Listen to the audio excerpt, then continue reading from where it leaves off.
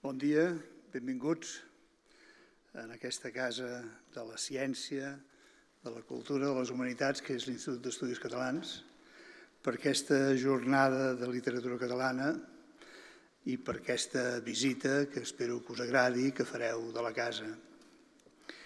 L'Institut d'Estudis Catalans és una institució més que centenària, va ser creada el 1907 per Enric Prat de la Riba, teniu el gust aquí dalt, que llavors era president de la Diputació de Barcelona, per una finalitat molt concreta. Eh, a començaments del segle XX, tot allò que tenia a veure, o bona part del que tenia a veure amb el patrimoni artístic, cultural, històric, legal, etc. català no, no era mm, conegut, no era estudiat per la única universitat que hi havia llavors, la de Barcelona. I eh, la recerca en aquests àmbits estava molt limitada i la creació de l'Institut va ser precisament per intentar resoldre aquesta situació. Eh, els primers anys de treballs arqueològics, de descobriment, per exemple, de les pintures del romànic, del Pirineu, d'excavacions amb restes eh, gregues, romanes, ibèriques, eh, d'estudi de la literatura dels nostres autors van ser tot un èxit i l'Institut des de llavors, des de fa, com us dic, més de 100 anys, ha seguit treballant amb pràcticament tots els àmbits de les ciències. L'Institut és també l'Acadèmia del Català, de la de la llengua catalana. De manera que la normativització d'aquesta llengua, l'edició, ara deu fer ja 20 anys gairebé, del Diccionari de la Llengua que s'està posant contínuament al dia, l'edició fa dos anys de la gramàtica, l'ortografia i de la gramàtica, que és voluminosa i és, és dura de llegir pels que no som lingüistes, com jo que no ho soc, eh, ve acompanyada d'una gramàtica essencial i que ja està eh, disponible en xarxa i d'aquí molt poc d'una gramàtica bàsica que segurament serà la que podreu fer servir vosaltres eh, als instituts, a les escoles, que, que estarà més adequada perquè eh, es pugui veure com funciona, com s'organitza el català, per què es construeixen les frases d'aquesta manera o d'una altra, etc. Doncs bé, eh, ja podem imaginar que, eh, excepte dues èpoques ben, ben dolentes per l'Institut, que va ser primer la dictadura de Primo de Rivera als anys 20 i després la guerra i la postguerra i amb el franquisme, l'Institut ha estat treballant de manera important en tots aquests àmbits, especialment amb la llengua, però no només amb la llengua. I eh, una mica més en relació a la temàtica d'avui, eh, alguns dels seus membres, que en té molts, té així a números rodons una, un centenar i mig de membres numeraris i un centenar i mig de membres emèrits, és a dir, aquells numeraris que hem arribat als 70 anys i llavors ja ens passen a emèrits, eh, i que no tenim les obligacions que tenen els numeraris, més una cinquantena llarga de membres corresponents, que estan repartits per tot el món, doncs deia eh, aquests, eh, aquesta gent, es tria entre les persones que es creu que són més vàlides amb els diferents camps de la recerca, de la llengua, de la història, del dret, eh, de la química, etc. I eh, treballem, treballen eh, aquests membres en cinc seccions diferents, la històrica-arqueològica, la filològica, i les tres seccions de ciències, ciències biològiques, ciències de tecnologia i filosofia i ciències socials. A part d'això, eh, ja podeu imaginar que si aquests membres es trien quan tenen tota una executòria de molts anys d'haver treballat i d'haver exercit la seva professió a universitats, a centres de recerca o allà on sigui, solen ser persones d'una certa edat. A part d'això, l'Institut té eh, 28 societats filials i una desena de societats adherides, vinculades, que són societats culturals, científiques, que agrupen socis, que la majoria són socis joves, eh, potser no tan joves com vosaltres, però déu nhi perquè hi ha socis estudiants també, i en total aquestes societats filials tenen un, de l'ordre d'uns 9.000, 10.000 socis. i eh, són el lligam entre la, la cultura, la ciència, les activitats eh, més científiques de les seccions i la societat, en, molts aspectes. Per exemple, la Societat de Biologia, que és una de les quals els que jo pertany des de fa moltíssims anys, doncs d'aquí poc organitza un congrés i un congrés sobre temes de, de biologia pura i dura, però també fa activitats de divulgació.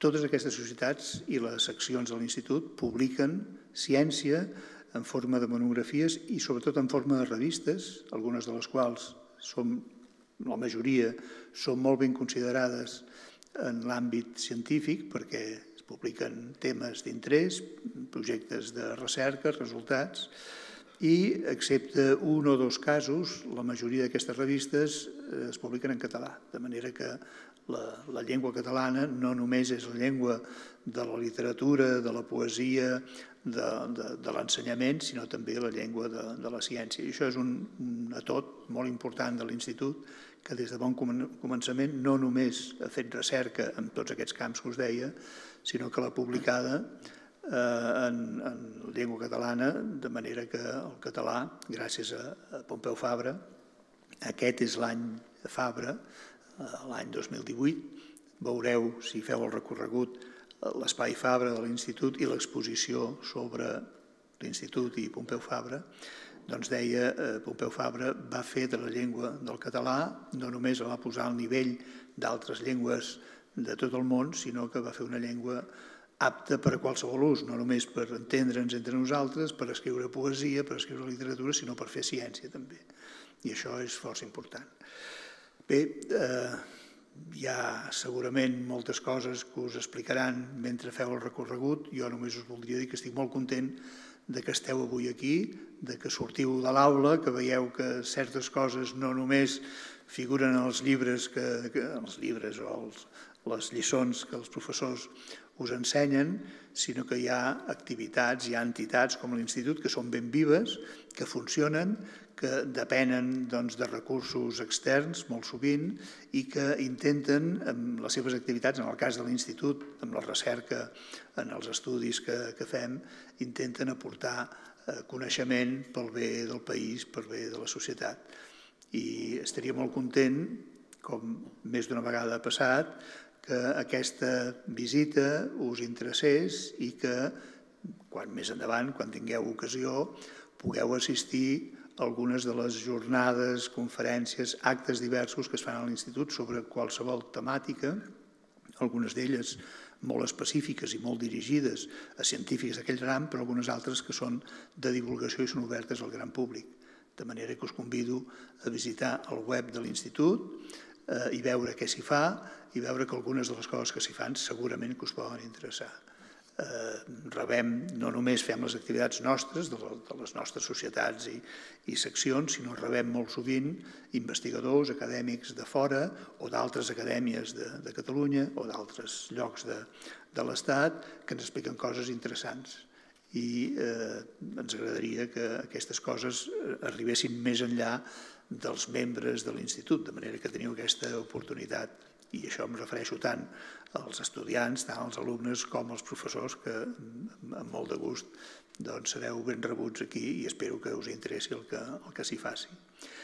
Res més, jo em penso que donaré la paraula ara eh, al director general d'Educació Secundària i Batxillerat, el senyor Vallcorba, Josep Vallcorba, perquè us expliqui com funcionarà tot això i quin és l'objectiu d'aquesta trobada. Endavant. Molt bé, moltes gràcies, president, vicepresidenta, company Vicenç, subdirector, cap de servei, professors i tots vosaltres molt benvinguts a aquesta sessió tan especial. Podríem dir gairebé és una festa, una classe magistral, no magistral, excepcional, eh? com la que tindrem avui. Eh, de fet, aquesta sessió introductòria estava previst que la fes el mateix conseller. Eh, sabeu que és professor de llengua i literatura també i per tant tenia un interès especial en ser aquí. tenia un interès especial en ser aquí perquè justament amb un acte com aquest, diguéssim, del màxim nivell de la representació de la ciència i del coneixement del país, com és l'Institut d'Estudis Catalans, ell també hi volia ser. Ens sembla que és un, un, un magnífic projecte que puguem treballar de bracet al departament i l'Institut, el departament i les universitats, justament per crear aquesta, aquesta sinergia, aquest efecte multiplicador que volem que vosaltres, el, el nostre futur, el futur del país, tingueu les millors oportunitats.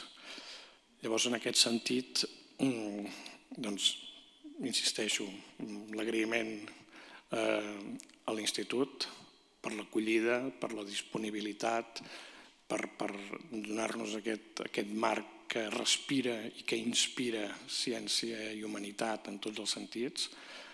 Moltes gràcies als professors i professores perquè participar en aquests projectes vol dir exigència professional i vol dir compromís i implicació amb el país i amb l'educació. I moltes gràcies a vosaltres, sobretot, nois i noies, perquè no tenim cap dubte que sabreu apreciar el que representa una sessió, una jornada com la que tenim avui, que és un, una situació realment excepcional. Només un parell de reflexions per compartir i per, per intentar eh, donar la, una dimensió de la importància que té un, un projecte com el que estem plantejant. En els debats que hi ha arreu sobre tot el que representa la globalització. Un dels grans temes és com passem de la societat de la informació a la societat del coneixement. De fet, es dona per suposat que som tots a la societat de la informació. Però, de fet, podríem plantejar molts dubtes i podríem fer una sessió molt crítica. Ja sabeu que es parla molt d'informació, però també es parla molt de desinformació, es parla molt dels fakes, es parla molt eh, de la postveritat, es parla molt eh, de com s'intoxica, es fa servir un verb fins i tot que es diu infoxicar, eh, que vol dir tergiversar amb excés d'informació per confondre-ho tot. Però bé, en tot cas, tots coincidim que és un fet que som a la societat de la informació i el repte és dir com passem de la societat de la informació a la societat del coneixement, que és garballar la informació de qualitat, eh, relacionar-la, construir-la i eh, mirar de, de concretar-la en aplicacions determinades. Però el que no es parla gaire és de la societat de la saviesa, que és un dels termes que hem d'anar introduint. I la societat de la saviesa vol dir recuperar tot el llegat, tota la sensibilitat, tota la humanitat que està a favor de les persones, que està a favor de la felicitat, que està a favor de la dignitat, que està a favor de l'equitat. I certament de saviesa n'hi ha arreu, n'hi ha a la ciència, només faltaria, n'hi ha en el... però n'hi ha molta en la llengua i en la literatura en la llengua i en la literatura hi ha la saviesa de tot un llegat històric i en la literatura hi ha la saviesa en minúscules, que no és una saviesa que fa por, sinó és una saviesa que fa companyia. És una saviesa que fa costat, que ajuda a interpretar els tràngols de cada dia. Totes, totes les, les, les dificultats que tenim en la vida, sovint amb un bon llibre, amb un bon poema, amb una bona novel·la, amb una bona conversa, es fan més amables, es fan més passables, es fan més agraïdes. I l'altra idea important sobre la globalització és que justament necessitem el contrapunt de la localització enmig d'aquest món on hi ha tantes llengües, tantes cultures, tantes realitats, tantes pressions, tantes interaccions, necessitem un referent, un referent clar. necessitem un referent clar de ser on som. I en aquest cas nosaltres som aquí. Eh? Som en aquest país, amb aquesta cultura. I aquesta cultura i aquest país no ens ha de ser una, una contraposició a la visió oberta, ans al contrari. A partir d'aquí podem obrir-nos al món. A partir de la nostra llengua podem ser plurilingües. A partir de la nostra realitat podem ser interculturals. A partir de la nostra convivència podem contribuir a la millora del món. Per tant, si agafem per un costat la saviesa que necessitem i per altre costat la necessitat de ser d'un lloc, què ens trobarem? Doncs la part de saviesa ens la dona la llengua, la filologia, i la part de ser d'un lloc ens el dona l'adjectiu catalana. Filologia catalana, un binomi preciós, un binomi en el qual els que us sentiu atrets, us convidem a aprofundir-hi perquè necessitem, com a país, no només la defensa emocional, la defensa de cor, sinó la defensa intel·ligent, la defensa eh, compromesa, la, la, la defensa amb estimació i coneixement del que és la nostra llengua i el nostre patrimoni. Per tant, gràcies per ser aquí, gràcies per aprofundir i gràcies per tot el futur i tot el compromís que teniu per endavant i que passeu una jornada agradable, que en gaudiu moltíssim i que us vegi tot molt bé.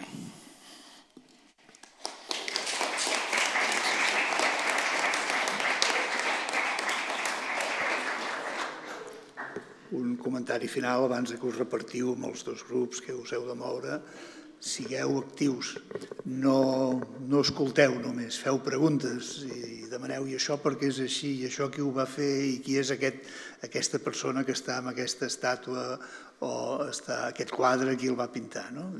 Bé, doncs, I que us agradi força i que gaudiu i que qualsevol altre dia agafeu els vostres pares, els vostres germans i veniu a veure l'institut vosaltres pel vostre compte.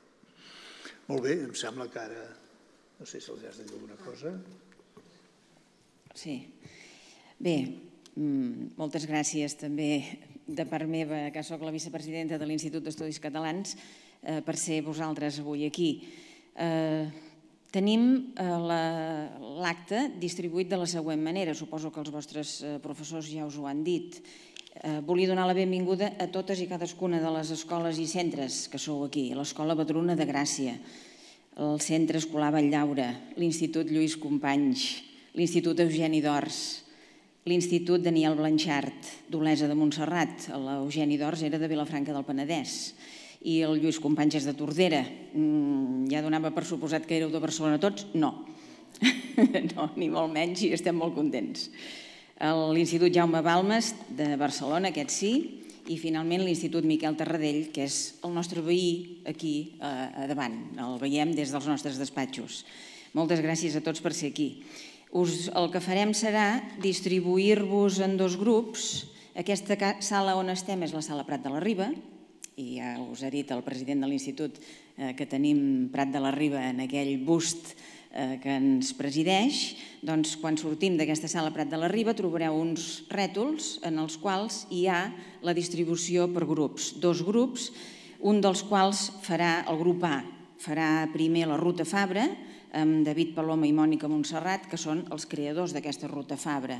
Es va crear justament, com deia el president de l'Institut, perquè aquest any és l'any Pompeu Fabra i a dins d'aquest marc hi ha aquesta ruta que seguireu, no en la seva totalitat, perquè és una ruta llarga per tot Barcelona, us fan una ruta expressament per vosaltres en l'entorn de l'Institut d'Estudis Catalans, perquè així eh, podreu ser aquí per la segona visita. Per tant, el grup A farà això. El grup B, mentrestant, eh, farà una visita comentada per la Casa de Convalescència, que és la seu de l'Institut d'Estudis Catalans, és aquí on som, us ho explicarà la Sandra Rigall i la segona meitat d'aquesta visita serà una visita al Jardí Mercè Rodoreda, que és aquest jardí que tenim al primer pis de l'Institut d'Estudis Catalans i seré jo mateixa qui us explicarà aquest jardí. Després farem una pausa esmorzar, perquè haurem agafat gana, com que haurem caminat per, per tot arreu, farem una pausa esmorzar que tenim preparada a baix al claustre i a continuació el grup eh, B farà la ruta Fabra, que havia fet la visita comentada a l'Institut, farà la, grup, la ruta Fabra i el grup A farà la visita comentada per la Casa de Convalescència i després la visita al Jardí Mercè Rodoreda. A continuació tornarem a venir aquí, a la Sala Prat de la Riba, hi haurà una conferència eh, que ha titulat Pompeu Fabra i els escriptors a càrrec de Ramon Pinyol, que és el president d'una d'aquestes cinc seccions que us explicava el president de l'Institut. És el president de la secció històrico-arqueològica. Històrico-arqueològica, mmm, podeu pensar que només hi ha historiadors i arqueòlegs. No, a més a més hi ha historiadors de la literatura. I en Ramon Pinyol us parlarà d'això. I a les 13.15 farem en aquesta mateixa sala la cloenda i el comiat a tots vosaltres, alumnes de batxillerat d'aquesta modalitat de literatura catalana Eh, que esperem que continueu fent literatura catalana no només a l'Institut sinó també a la universitat. Ens fa molta il·lusió, com ens deia el director general abans, que aquesta sigui la primera sessió d'aquest curs de les eh, jornades eh, dedicades a la modalitat de literatura catalana. Teniu l'opció, després de l'Institut d'Estudis Catalans, d'assistir a diverses universitats que us explicaran l'oferta eh, que tenen pel que fa a això, a la literatura catalana. És a dir, que nosaltres eh, som una mica la inauguració d'aquest curs, d'aquesta eh, experiència tan fructífera que es va encetar l'any passat per part del Departament d'Ensenyament i que esperem que tingui llargs anys de vida i que es vagi incrementant el nombre d'estudiants universitaris de literatura catalana, de llengua catalana. La llengua és l'ànima d'un país, deia Mercè Rodoreda, i mereix moltes atencions.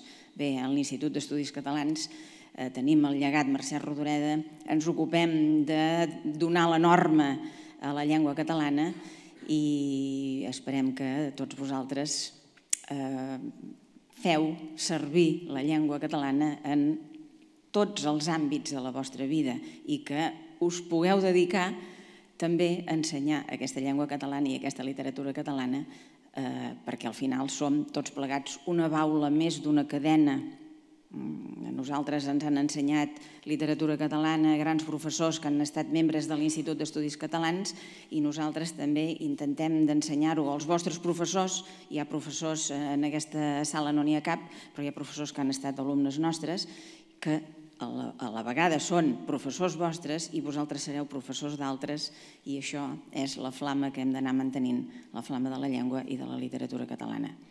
Bé, Mm, sigueu molt benvinguts i ara podeu sortir i dividir-vos en dos grups i anirem fent tot això que, que hem anat explicant. Moltes gràcies.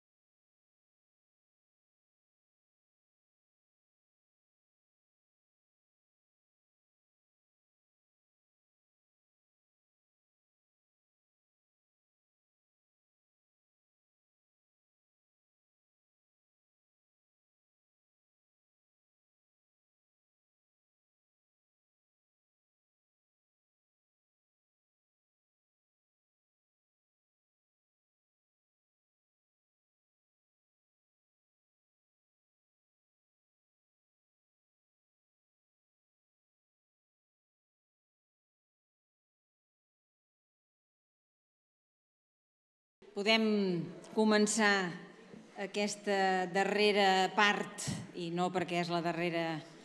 Eh, vaja, en fi, ja ho sabeu allò, no? la darrera part d'aquesta jornada, que espero que hagi sigut intensa i fruitosa.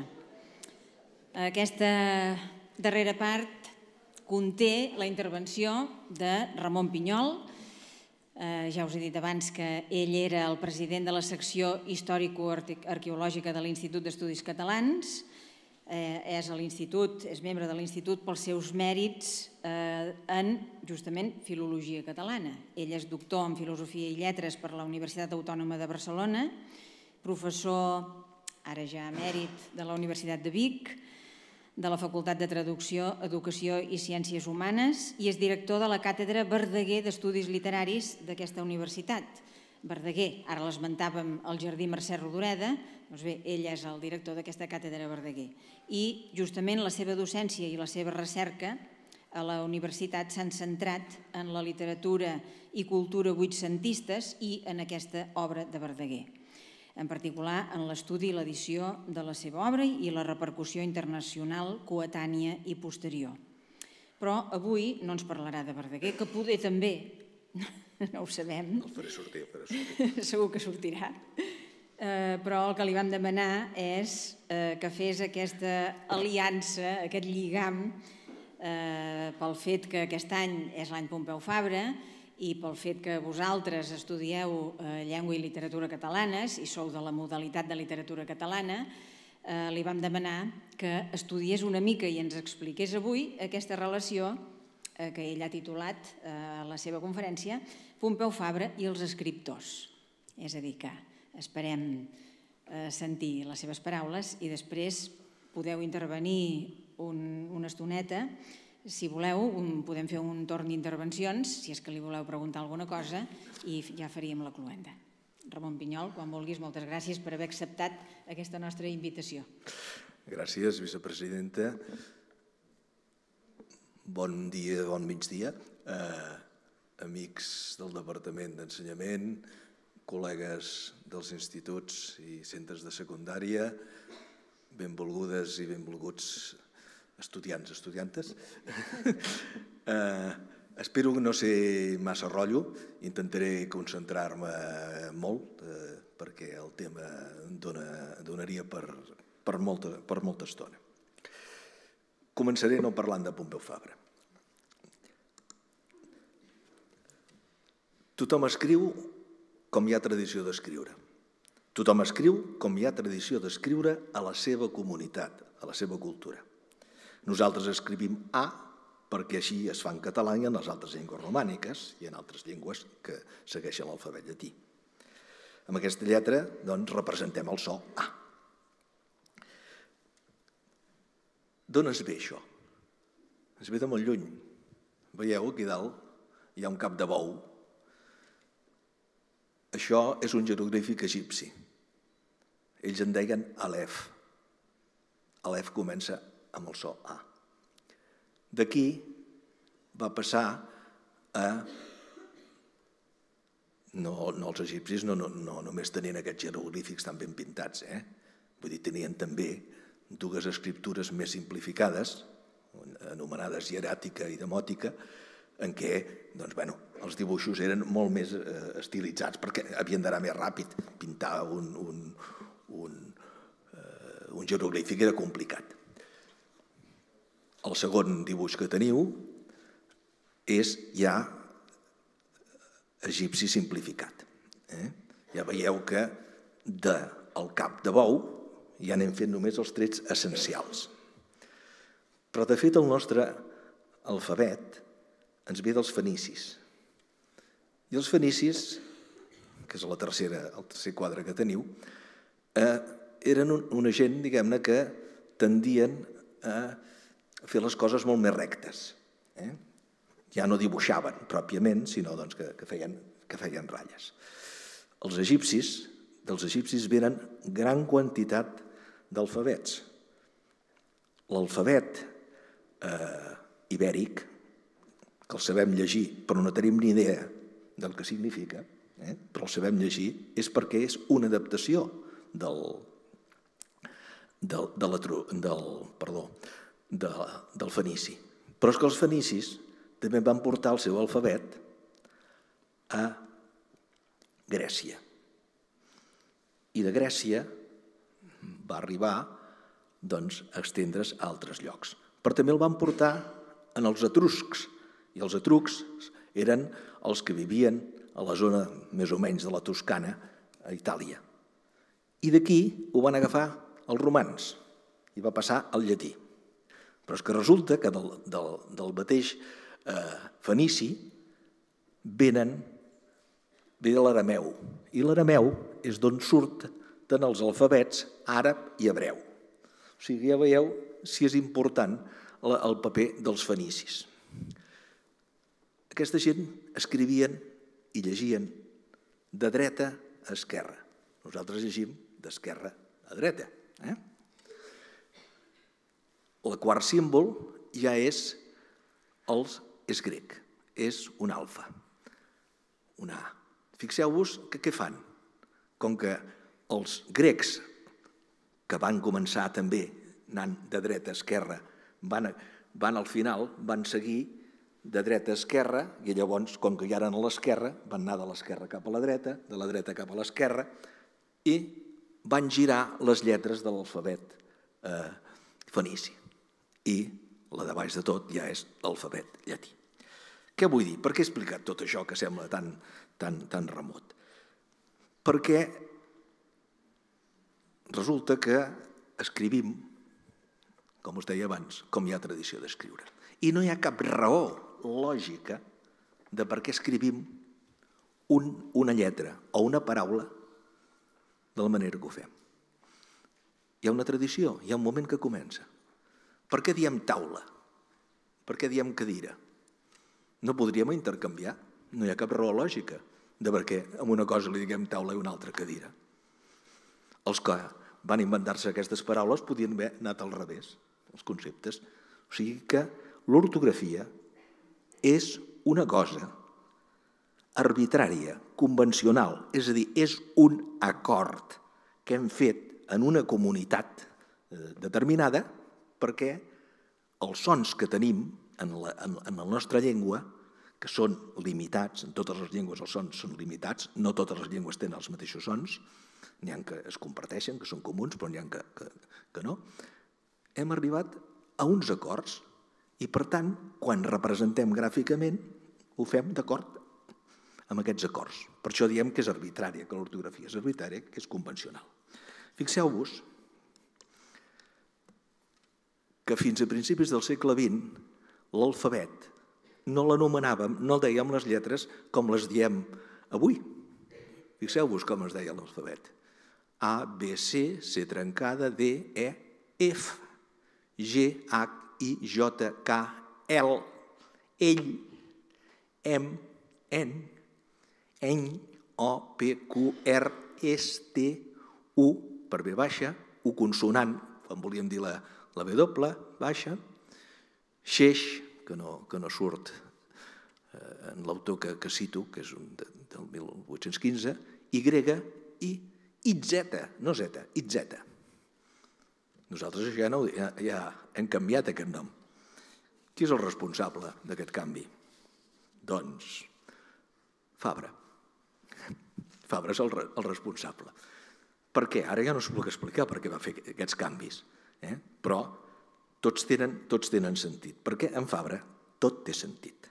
Eh? Tot està basat en una lògica. Ell tenia una mentalitat eh, d'enginyer, eh? d'enginyer, diguem-ne, de la llengua. Els enginyers, diguem-ne, són persones que calculen bé les coses, i Fabra ho feia així. Tinguem en compte, a més a més, que l'ortografia canvia lleugerament amb el temps, que nosaltres no tenim els mateixos sons que tenien els romans, que nosaltres hem, en les llengües romàniques han sortit sons que no existien en llatí. I, per tant, hem hagut de buscar noves maneres de representar aquests sons. Per exemple, el so d'aquest que diu aquí, eny. Aquest no existia. És un so palatal que no existia eh, en llatí. Per això hi ha moltes llengües que escriuen eh, de manera diferent. L'espanyol es va inventar una N posant-li una ratlleta a sobre. En català posem una N i una Y. Hi ha una, gran quantitat de llengües que fan servir pel so nya, nya, ni, nyo, nyo, fan servir una G i una N. D'altres fan servir una N i una H. És a dir, quan no tenim el llatí per servir-nos-en, ens hem d'inventar, però som conscients de més o menys de, quina, de quin so llatí ha evolucionat. Per això conservem eh, aquestes, aquestes coses. D'altra banda, hi ha lletres que s'han incorporat molt més, molt més tard. La que es va incorporar molt més tard eh, de totes, l'alfabet, va ser la doble B baixa, que procedeix d'Anglaterra i de França i d'Irlanda, i que es va incorporar al segle XIII. Des de llavors, que sàpiga, no s'ha no afegit cap més lletra a l'alfabet. Mm? Fixeu-vos Fixeu-vos en això, no sé si es veu bé. Això són dues portades de les dues primeres edicions de l'edició del Quixot. Fixeu-vos que diu el ingenioso hidalgo don Quijote de la Mancha, però aquest Jote, aquest Quijote està escrit què? En una X, no? Oi que sí? Bueno, és que ells pronunciaven, escrivien aquest so de jajejijoju, l'escrivien així, en Vix. Va ser un determinat moment que van decidir de canviar-ho i escriure i posar-hi una jota. A Mèxic, eh, ells encara conserven aquesta grafia, però ells no diuen Mèxic, o no diuen Mèxico, diuen México. Però escriuen, escriuen, ho escriuen així. És una grafia arcaica, però que ells respecten. Vull dir que l'ortografia també és canviant. Per això les acadèmies, les institucions que els correspon mm, vetllar, diguem-ne, per, per, per la llengua, de tant en tant han de fer canvis. Canvis que sempre, sempre costen d'acceptar. La nostra secció filològica, cada vegada que fa un canvi, eh, provoca una reacció, diguem-ne, eh, eh, Bueno, ara hem tret alguns accents, eh, algunes paraules doncs, als guionets... Bueno, són petites coses, però que s'han d'anar a ajustar als nous temps. I, per tant, eh, això toca fer-ho. Però quan un està acostumat a escriure d'una manera, que toquin la manera d'escriure, això és molt complicat, és difícil. És, I per la gent gran, doncs, les coses són una mica mm, difícils, en aquest sentit. Però la llengua no és només l'ortografia. L'ortografia és purament la vestimenta externa de la llengua. La llengua és la morfologia, la sintaxi i el lèxic. Això és la llengua. I Pompeu Fabra va intervenir en tots aquests camps. En tots aquests camps. D'aquí ve la, la, la gran importància. Però és que, per què, encara que vagi a fer doncs, tot això, és important Fabra? Perquè abans d'ell era la pura anarquia. Eh? Aquí això, això són portades de llibres del segle XIX, que si els poguéssim veure, ara no podem veure, veuríem quines menes d'ortografia.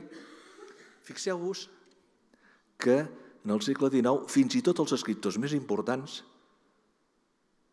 no sabien que hi havia paraules que no eren genuïnes, que eren barbarismes. Fixeu-vos, aquí n'he posat unes quantes, unes de Verdaguer, unes de Narcís Uller, unes d'Àngel Guimarà. Són els tres creadors dels tres grans blocs literaris moderns. I no ho sabien, que això, això Fabra ho va arreglar. Va demostrar que tot això no, no, no, era, no es podia fer servir, perquè això era donar pas a paraules que no necessitàvem perquè ja teníem paraules en català per designar el mateix concepte, perquè havíem d'agafar paraules castellanes i posar-les. Això no té, no té cap mena de, de sentit. veure, perdó. Sabeu com escrivia el pobre Verdaguer la paraula mig? En els seus manuscrits surt escrit de quatre o cinc maneres diferents. Mig escrit IG, mig escrit acabat en TX, mig escrit acabat en TJ, mig escrit acabat en CH, mig escrit acabat en TG. No ho sabia com havia d'escriure. I avui, mira, se li acudia escriure així i demà se li acudia escriure d'una altra manera. I qui diu aquesta paraula, doncs quantitat de paraules. Per què? Perquè cadascú escrivia una mica com podia. I això creava una confusió i una dificultat enorme en els escriptors. Perquè, és clar, doncs, no n'hi havia dos que escrivissin igual. Ara no us atabalaré amb la quantitat, diguem-ne, de, de, de polèmiques que hi va haver eh, en els últims decennis del segle XIX i principis del segle XX sobre si s'havia d'utilitzar si una ortografia així o una ortografia així, perquè tothom tenia teories, i aquest és un país, a més a més, que tothom eh, entén de llengua. Eh? Tothom opina sobre la llengua. Encara que, que moltes vegades, diguem-ne, es diguin veritables bestieses. Pompeu Fabra i la seva tasca. Ara ja ens en centrem en ell. Pompeu Fabra va començar la seva obra proposant-se superar aquests dos, els corrents lingüístics enfrontats que no portaven en lloc i que no eren adequats per a una llengua moderna que es pogués aplicar a tots els àmbits d'expressió, el literari, el científic, el jurídic, l'administratiu, el periodístic. I va començar per l'ortografia, tenint present sobretot dos principis. Respecte a la pronúncia dels dialectes i a l'etimologia de les paraules. Era un científic.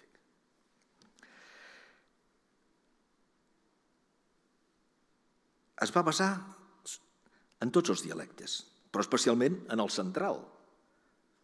I per què? Perquè era el més parlat i era el que tenia major conreu literari. No va ser eh, perquè també fos el seu, sinó diguem-ne perquè hi havia unes raons diguem-ne de pes que, que feien que això pogués afavorir més la reforma que ell eh, va fer. Va començar per l'ortografia, com dic, concretada en les normes ortogràfiques del 1913, completades pel Diccionari Ortogràfic del 17 de l'Institut d'Estudis Catalans, va regularitzar la morfosintaxi, la gramàtica catalana del 1918, adoptada com a oficial, i finalment el vocabulari amb el Diccionari General de la Llengua Catalana del 1932. És a dir, ortografia, morfosintaxi, lèxic, tot. Eh? Fabra va esdevenir el mestre, un títol que tant per la seva època com ara precedeix el seu nom o el substitueix. Sovint, a la seva època ja li deien mestre Fabra i moltes vegades ara, quan ens referim a ell, diem el mestre i volem dir Fabra. Prat de la Riba, el gran president de la Mancomunitat de Catalunya i creador de l'IEC, que és aquell senyor que tenia un bust de, de bronze eh, aquí, aquí a la paret, doncs va saber sempre triar molts bons col·laboradors i va veure que Fabra era l'home adequat per normalitzar, perquè si no es normalitzava no avançaríem com a país. Però per normalitzar calia també primer normativitzar. És a dir, si no tenim unes normes, si no estem segurs a l'hora d'escriure, malament. Eh? I per tant calia fer primer aquesta feina, perquè si no, no es podia després normalitzar la llengua. Eh? Per això aquí hi ha un judici que és de, de, Josep Pla, i diu Fabra ha estat el català més important del nostre temps perquè és l'únic ciutadà d'aquest país, en aquesta època, que havent se proposat d'obtenir una determinada finalitat pública i general, ho aconseguí d'una manera explícita i indiscutible. En aquest sentit, no hi ha ningú més que s'hi pugui comparar. Bé, després segueix, ara no, no, no, ens hi, no seguirem amb, amb aquest text. Però una vegada regularitzada la llengua, calia que s'assumís aquesta regularització o normativització, és a dir, que es generalitzés. I el camí no va ser fàcil. D'una banda, la major part del poble, cas d'estar-ho, estava o havia estat escolaritzada en castellà. Per tant, el que sabien era fer lectura i escriptura en espanyol. D'escola que ensenyés en català o en català n'hi havia poca. I era de caire privat, no religiós, de caire privat. Fins i tot quan s'instaura el 1931 la Segona República i el 1932 a Catalunya aconsegueix un estatut d'autonomia, l'ensenyament no es traspassa permetent que es facin ensenyament del català i en català. Això és una cosa que sovint s'ignora. Es pensa doncs, que perquè es havia normalitzat a nivell oficial i la universitat havia esdevingut bilingüe, els altres nivells de l'ensenyament ja estaven catalanitzats. No, perquè, com diu Mila Sagarra, que és eh, una biògrafa de, de Pompeu Fabra, la gent de la Lliga, que eren els que, que estaven darrere de la mancomunitat, pensaven que, com que els estudiants ja parlaven català, doncs amb això ja n'hi havia prou. Eh? Eh, es va haver d'avançar. Eh, I quan es va començar a avançar en aquest camí, va venir la Guerra Civil i tot se'n va anar a Norris. Sí, fem un, un tall. Bé, eh, eh, eh, sap greu que hagi de marxar, però ho entenem. Eh, a fora teniu uns llibres que són per vosaltres. Moltes gràcies per haver vingut. Bueno, seguim. Uh, aquí hi ha un text, si podeu, mentre vaig, mentre vaig dient alguna cosa, podeu mirar. Resulta ser que quan surten les normes, les primeres normes ortogràfiques, hi havia editorials que tenien llibres, diguem-ne, ja pràcticament impresos, però eren editorials que volien adherir-se a, a la divulgació de les normes ortogràfiques. I aquest és, és, és curiós perquè és un, és un llibret de, de l'Avenç on el llibre està imprès i com que no són a temps de posar-lo amb les noves normes ortogràfiques, posen un paper encartat en la primera pàgina dient a partir d'ara ho farem sempre així, aquí no, no, hem, tingut, no, no hem pogut fer-ho, no? I això ho expliquen. Masó Casas i companyia eren els propietaris de l'editorial aquesta, eh, l'Avenç. Hi va haver escriptors que es van resistir molt a adoptar les normes ortogràfiques. Entre ells, gent tan important com Francesc Mateu, Caterina Albert, que signava amb el pseudònim eh, Víctor Català, Àngel Guimarà, Apeles Mestres, Narcís Uller... Són autors que no van voler. Ells ja eren grans. Ara els hi tocaven la seva manera d'escriure. Això era molt dur per ells. Eh? Vull dir, això s'ha d'entendre.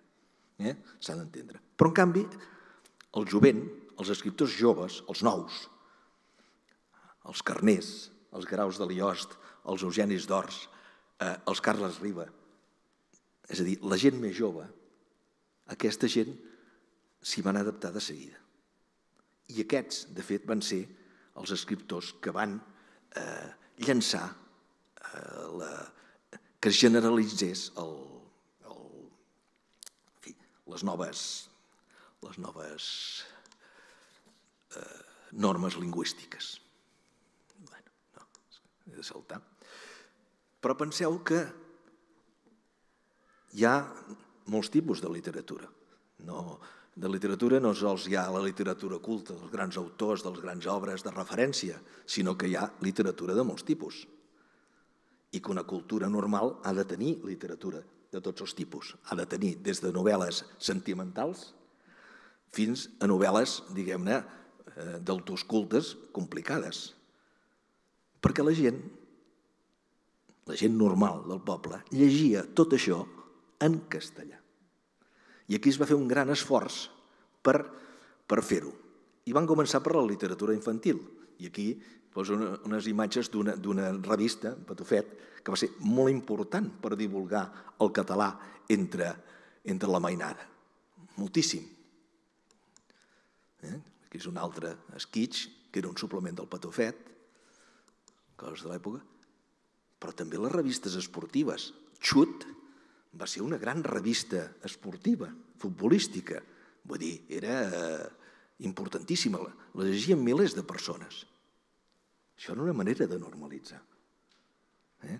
I no ho feien escriptors de primera fila ni escriptors, diguem-ne, eh, de gran renom. Feien gent, periodistes normals i corrents que, que feien eh, aquestes coses. També hi havia revistes on col·laboraven, sovint amb pseudònim, autors cultes, com aquesta Pepito, que era una mica, bueno, era eròtica eh, per descomptat, i anticlerical també per descomptat. Jo aquí he posat només unes portades, diguem-ne, políticament correctes, eh? perquè no d'allò, però era, es llegia molt, era molt, bueno, no cal dir que a les barberies que llavors eren centres importants, sempre hi havia, sempre hi havia el Pepito, no? Formava part d'aquest procés. I aquestes revistes, encara que fossin d'aquest tipus, totes es van, es van catalanitzar d'acord amb les normes noves. Eh? El Benegre, que aquesta és una revista satírico-política molt, molt important, Eh? Vull dir, això va arribar a tot arreu. L'Esquella de la Torratxa, que era una revista eh, republicana i anticlerical eh, terrible, però que tenia 50-60.000, eh, eh, tirava, feia tiratges d'aquest tipus, eh? que són, són molts exemplars. Rovira i Virgili, que ha estat un gran eh, historiador i un, i, un, i un intel·lectual de referència a tot el segle XX, ell escrivia a l'Esquella de la Torratxa, que era, una que era aquesta revista, diguem-ne, tan, tan popular, però que era tan, tan escarrenosa i anticlerical i tal. Aquí ell mateix divulga qui és Pompeu Fabra. Ho explica a un públic popular. Diu, en Pompeu Fabra és, en efecte, un home d'un talent clar. Els seus pregons i extensos coneixements filològics s'ajunten fecundament, feliçment, al seu depurat gust. És un gramàtic plenament civil, contra les desesperants barroeries de pretesos filòlegs i gramàtics ignorants, contra les atzagaiades lingüístiques dels incompetents, ell ha sostingut la, no, la nova causa del català polit, literari, ciutadà, modern. Ningú com ell no ha sabut unir tan bé el geni de la llengua catalana amb la riquesa i la fluidesa d'expressió que demana dels idiomes la civilització dels nostres dies.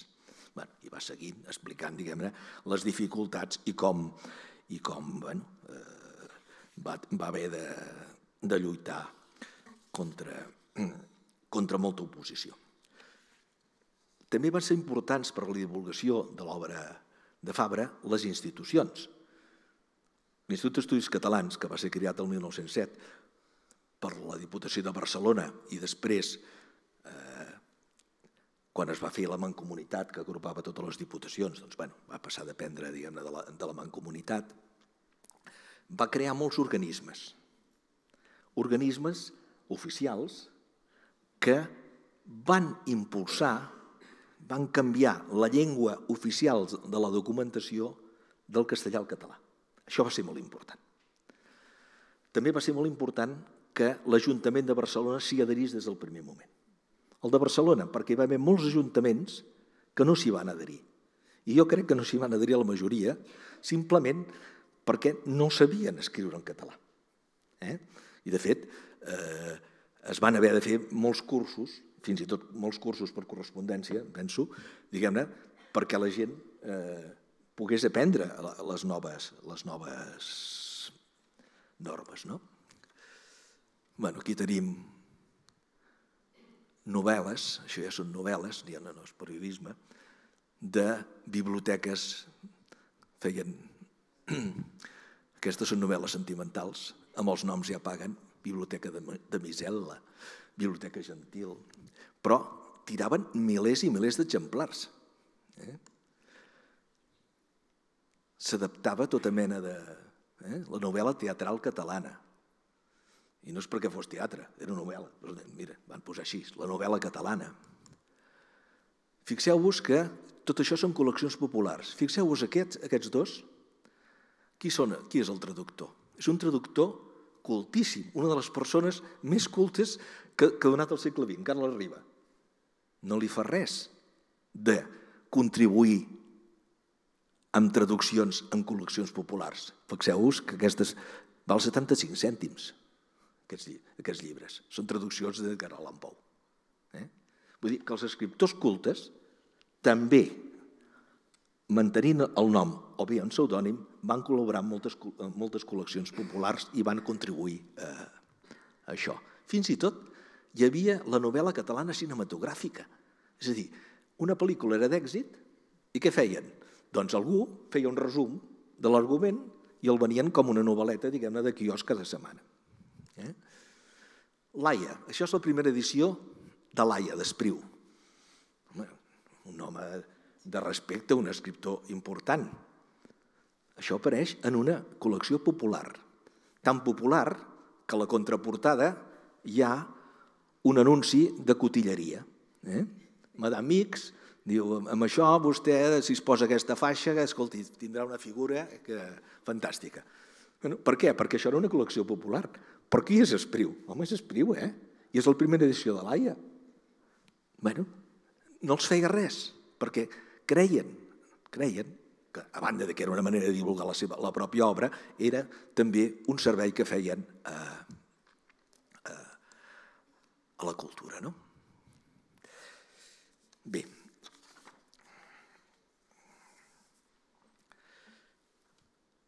una de les coses més tristes que, que, que ens hem trobat va ser l'odi que hi havia contra Pompeu Fabra per part, diguem-ne, de certs sectors eh, espanyolistes i no cal dir per certs eh, sectors, diguem-ne, del franquisme.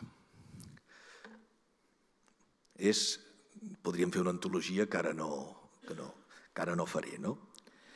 Però que, bueno, sí que val la pena d'esmentar. De, de, Hi havia un general, que es deia Quei Podellano, que era el capità general d'Andalusia, que és bueno, un genocida de gairebé la categoria de Franco, eh, que aquest cada dia feia unes emissions per ràdio eh, comentant com anava la guerra i en totes elles acabava sempre posant-se en Catalunya. I durant setmanes cada día deia el següent.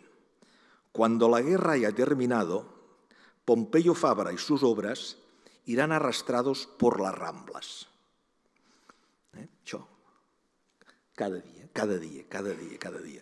Va arribar un moment l'any 30, 38 que el, que el règim va voler mostrar una altra cara i li van prohibir fer discursos d'aquest tipus. Però dir, és per donar a entendre una miqueta com, com, bueno, eh, com tractaven en els, eh, a Fabra. No? És a dir, eren, import... eren conscients de la importància del que havia fet Pompeu Fabra. Eren tan conscients que per això li tenien aquest odi, diguem-ne, eh, tot i que va ser un home, diguem-ne, pacífic tota la vida, que no va ser de partit, bueno, vull dir que un home doncs, eh, dedicat a això, al servei de la llengua. Aquí hi ha l'ordre pel qual l'expulsen de catedràtic de la universitat. Diu orden del 22 de febrer del 1939. Tingueu en compte que les tropes franquistes van entrar a Barcelona a finals del mes de gener. O sigui que ja ho tenien tot preparat quan van arribar aquí. Eh? Orden, separando definitivamente del servicio a varios catedráticos de universitat. Ilustrísimo señor, las mismas alegaciones que en general motivaron las órdenes del 4 de febrero del actual, juntamente con las públicas conductas seguidas en el extranjero por algunos de los profesores que se mencionarán, obligan a este ministerio a continuar su labor depuradora, separando definitivamente del servicio catedráticos universitarios sobre los que no pueda haber discrepancia, calificándolos como enemigos de España sin perjuicio de seguir un procedimiento cuidadoso para los que no pueden ser considerados como tales, etc. etc. Bueno, aquí expulsen. A Fabra i altres grans savis. Definitiva, i acabo. Espero que no us hagi cansat gaire, eh, he retallat molt. Només voldria fer una crida a estudiar filologia catalana. I teniu un camp inabastable de coneixements, de coneixements ja fets i encara un més gran per fer-ne de nous. Jacint Verdaguer, en l'epopeia Canigó, fa dir al protagonista gentil aquests dos versos meravellosos. Lo cor de l'home és una mar. Tot l'univers no l'ompliria. La filologia catalana i sobretot la literatura catalana són també un mar on es pot navegar trobant-hi meravelloses sorpreses i tot el que s'hi pot estudiar no l'omplirem en generacions. Gràcies.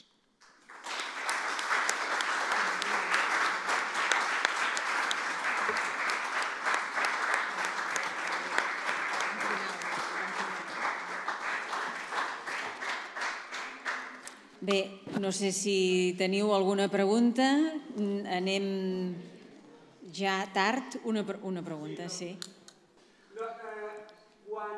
Quan quan el sindicat vertical, que és el sindicat franquista, entra a la Universitat de Barcelona, el primer que fan, el primer que fan és cremar la biblioteca de Pompeu Fabra. Potser no li cremen molt, però els llibres que tenia allà a la universitat, a l'edifici, li cremen. De fet, el, el president del sindicat, el líder que, que crema els llibres de Fabra, la, un senyor que es deia Pablo Porta, l'ascendeixen a president de la Real Federació Espanyola de Futbol. Durant molts anys va ser el president de, de la Federació Espanyola de Futbol i bueno, és curiós, no? vull dir que simbòlicament el primer que fan és cremar-li els llibres, no? que em sembla que van a, van a per aquí la cosa, no sé si tens... Que jo sàpiga, més que el que tenia a la universitat, que tenia poca cosa, el que van cremar és del seu pis de Badalona. Van tirar els mobles i els papers i els llibres al carrer i van cremar-los. La història dels llibres i el foc eh, és una història que sí. donaria per molt. I certament en Pablo Porta era el, el que dirigia el seu a la Universitat de Barcelona, el Sindicato Espanyol Universitario. I certament va ser molts anys eh, president després de la, de la Real Federació Espanyola de Futbol. Un professor meu, que va estudiar en les èpoques en què en Pablo Porta era el dirigent del seu, ens explicava que agafaven estudiants catalanistes, els tancaven en uns locals que tenien dins la universitat i els apallissaven. Eh? Vull dir que certament no vas mal orientat. Hi ha alguna altra qüestió? Doncs eh, donarem eh, per tancat aquest acte, eh, donant-vos les gràcies per la vostra assistència, per la vostra atenció, eh, per, esperem que eh, hàgiu estat bé a dins de l'Institut d'Estudis Catalans, que les expectatives que teníeu de venir a aquesta casa eh, s'hagin les, les, les hagueu assolit.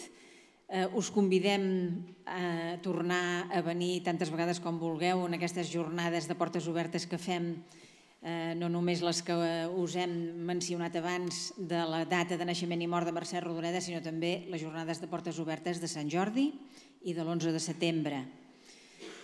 Eh, us convidem a consultar tot el que vulgueu als membres de l'Institut d'Estudis Catalans. Estem oberts a les vostres qüestions. Sabeu que hi ha una acadèmia oberta als ensenyants, una acadèmia oberta als mitjans de comunicació que es poden trobar a la xarxa. Eh, des de l'Institut continuarem fent la feina que hem fet des de fa més de 100 anys, des de l'any 1907, quan Prat de la Riba ens va crear, eh, amb, aquest, amb aquests tres punts eh, que tenim presents des dels inicis i que intentem de seguir el rigor científic, la catalanitat i l'obertura al món, això ens defineix a nosaltres des de fa més de 100 anys i encara ens hi sentim bé sota d'aquest paraigua. Esperem que vosaltres també us hi sentiu. Gràcies a tots els instituts i escoles que heu volgut ser aquí i us fem un regal, ara quan sortiu, a la taula de fora trobareu i, i us donaran a cadascun de vosaltres aquests exemplars d'aquestes dues obres. Una és aquest llibre, que és com una novel·la, però gràfica, de la biografia de Pompeu Fabra. Pompeu Fabra, l'aventura de la llengua. Oriol García Quera i Gemma Pauner Xuriguera són els autors. Un és l'autor de les il·lustracions i l'altre l'autor del text. Ho podeu llegir amb diferents nivells de lectura, perquè hi ha un text seguit i després hi ha unes il·lustracions eh, per fer més passadora aquesta, eh, aprendre la biografia de Pompeu Fabra. Això ha sortit publicat aquest any, amb motiu de l'any Fabra, com tantes vegades hem eh, dit. I també trobareu, i us regalem, aquesta petita història de Mercè Rodoreda. Sabeu que Pilarín Vallès és una prolífica autora de biografies de molts escriptors i de molts eh, personatges il·lustres catalans. Doncs bé, també té aquesta petita història de Mercè Rodoreda a la contraportada i veureu, veureu Mercè Rodoreda a la casa de Romanyà de la Selva que hem esmentat quan visitàvem el jardí i a dintre veureu també el seu recorregut eh, com hem anat explicant durant aquest matí. Esperem que les figures de Pompeu Fabra i de Mercè Rodoreda us acompanyin al llarg de la vostra vida, us donin consol. A vegades la literatura, ho deia el director general, eh, la literatura serveix per acompanyar-nos en moments difícils de la vida. A mi m'acompanya Horaci, ja sabeu, i no ho he pas amagat des del començament, eh, que sóc de clàssiques, i Horaci i les seves odes, llegiu-les. Avui no tocava, però deixeu-me dir-ho ara al final, perquè serveixen per avançar en aquest camí eh, que volem tots que sigui llarg pel mar procel·lós de la vida. Veles al vent i el sisè sentit a la barca és la conclusió i, i la frase eh, que dic sempre de l'Oda 2.10 d'Horaci, que és la que heu de llegir, la primera que heu de llegir, 2.10, Odes d'Horaci. Moltíssimes gràcies per ser aquí i gràcies per tot.